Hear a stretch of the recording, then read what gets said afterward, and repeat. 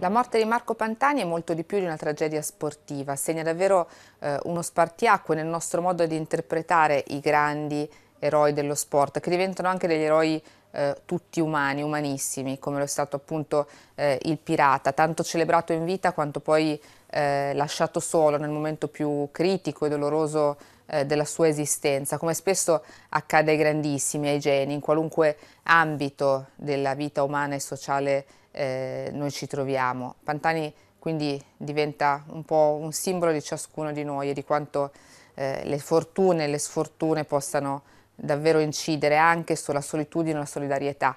dentro cui ci troviamo immersi, dentro cui ci troviamo a vivere. Per questo lo ricordiamo ancora con tanto affetto e con tanta nostalgia e tristezza.